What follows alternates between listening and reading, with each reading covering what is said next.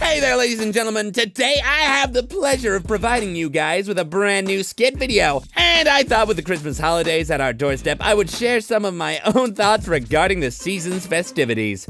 Culture forced me to include this disclaimer, by the way, so please don't mind this. The stresses of Christmas time make me hostile. I do not intend to offend or anger anybody who may disagree with my probably wrong opinions. Nope, okay, that's enough of that. You know, Culture gets his own fucking video format to literally just complain about shit. And here I am left out of the digital therapy session with just my escalating suppressed emotions. I have feelings too, you know! So what I've decided to do is create my own rant video behind Culture's back, but disguise it as a skit. And a list. Surely the son of a bitch won't notice it that way.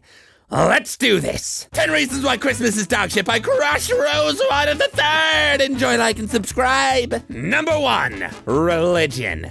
Yep, you know what I hate more than culture's sweet little ass? Religion. That nonsense really gets in the way of irresponsible spending and overeating. Now let us all bow our heads in prayer.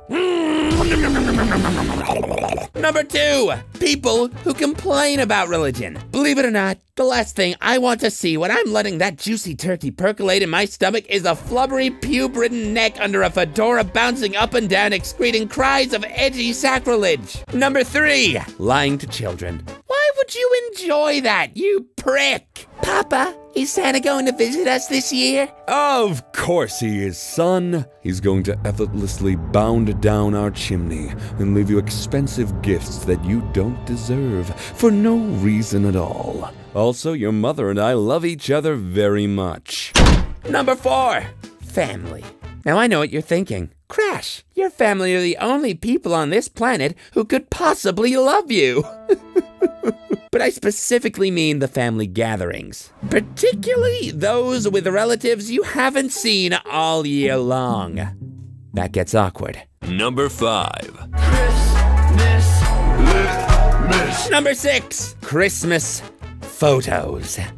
I needn't say more. Number seven, the noise. No, this isn't a reference to your half deaf grandmother who raises her voice to ear splitting levels just to hear herself think, alone at the end of the table. Mmm, this turkey is so moist. I'm talking about the music.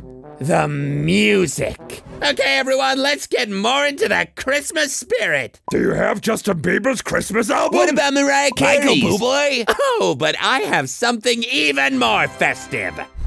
Number eight, the month of December in general. Christmas isn't until the end of the month. Why can't it stay where it belongs? Ah, another Halloween has come and gone. Tis the season to be jolly, la la la la la. Number nine, every other month of the year. This isn't Christmas related. I, I, just wish I was dead. Number 10, the socioeconomic impact of commercialism and consumerism. Wait, that's not relatable enough. Uh, the, the, the feeling when you have to like pretend to be excited or not disappointed when you get uh, socks for Christmas from your grandma. Am I right, fellow teens? And that was my list, my skit. And just between you and me, my rant. If I'm completely honest, I don't know why culture doesn't let me do these things more often. I feel like things went well.